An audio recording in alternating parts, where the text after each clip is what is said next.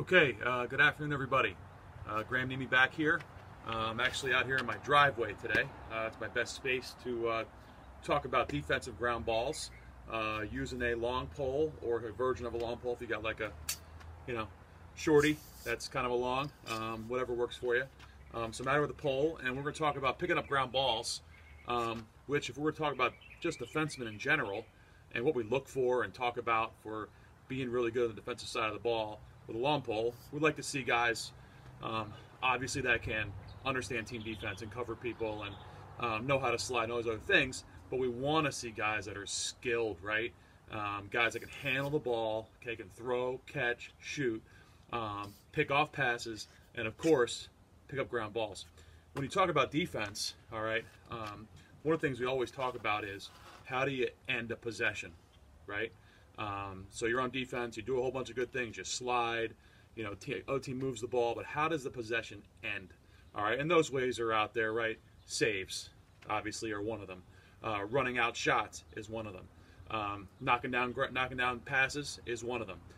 Picking up ground balls is another one. Um, I think it's a skill that's under taught, um, and so we're going to talk about a little bit. I believe um, that you pick up the ground balls with what I call a quick cradle technique. I don't teach scooping. Uh, I just don't think it's always relevant to a whole bunch of different situations. So we teach all of our poles how to quick cradle. Um, so a quick cradle is basically, okay, a cradling motion, which I'm going to show you here. All right, it's a cradling motion, okay, down here below my waist. All right, my grip changes a little bit. Bring my hands in here. I actually bring my thumb over.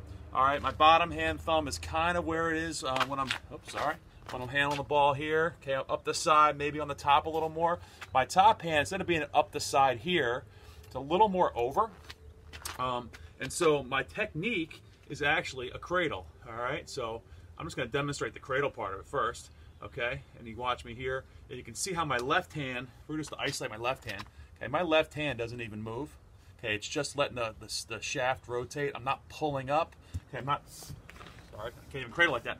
I'm not twisting down, doing nothing with this hand really, just kind of staying pretty stationary, all right? Whereas my top hand, if you were to watch my top hand, what you're seeing is, you're seeing all the action right here of my top hand.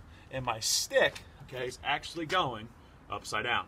Now, when you talk about your pocket with a long pole, all right, your pocket, if you look at mine here, the one I have, okay, the surface, okay, so when you pick up ground balls, okay, if you have a low pocket, all right, look at how far okay, the ball has to go to actually get into my pocket. Okay, if you have a high pocket, like this thing's awesome, all right, the ball only has to cover a very small surface area to get, okay, to where I want to have the ball in my pocket, which is up here. Okay, so now, the quick cradle. All right, so when we pick a ground ball up, okay, I don't teach scooping, though the technique, the technique is the same, hands low to the ground, but I pick it up in one cradling motion. All right, so I'm putting the ball down here, I'm picking it up, okay, and it's one cradling motion, all right? And you can see my bottom hand isn't doing much. My top hand is snapping the ball up. Lost one there, sorry guys. All right, snapping the ball up off the ground. Okay, it's a fast motion. All right, stick goes upside down. All right, and the thing is, when my stick is in this position here, upside down, and I get checked, believe it or not, the ball stays in. All right, and if it doesn't stay in, where does it come out? It comes out at my feet. All right, now, a scooping motion, which a lot of people teach, and that's not the wrong thing necessarily, um, but it's just not what I teach. All right, a scooping motion, okay, the, the open part of my stick is here. All right, and I'm bringing the stick up. Now, if I were to get checked, ball comes out high, okay, I don't have control over it. With a quick cradle, the ball comes out at my feet if I get checked. All right, and I just go pick it up again. A quick cradle also allows you to pick up balls that aren't necessarily right in front of you all right? Like ones that are right here at my feet, I can quick cradle that ball up. I missed that one, sorry. I'm allowed to miss a couple. All right, so they're right here at my feet. I can quick cradle those. Down here below, I can bring my shaft up vertical. All right, I can quick cradle that ball. All right, missed that one. I miss some of them sometimes. All right, also, if you're in there on defense somewhere and the ball pops out to the side of you, all right, I don't have to turn and scoop it or run through it. I can just grab it with a quick cradle and then take off wherever I got to go. So how to practice it. This is always the hard part. So what I would do if when I was when I, when I was home, okay, like you guys, I would start with a low cradle and work on that feeling. Just lost the ball again, guys. Sorry. All right. I'd work on that feeling. All right, of having that ball. Okay, in the higher part of my stick. I'd work on that low cradling motion. All right. Then what I would do is just walk around and work on it. Pick it up, put it down. Pick it up, put it down. Pick it up, put it down. If you're having a hard time, go back to the motion.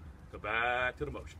Fast, right, slow. Just get a feel for it. Okay, and then, like I said, put it down, pick it up, put it down, pick it up. All right, and then as you get better, if you have a yard, I don't have much space today, I'm out here in the cold. All right, start rolling the ball to yourself, going through it, keeping it low. All right, putting it down. Now, one thing to remember, your cradling motion is in, okay? So I'm gonna lose the ball here for a second.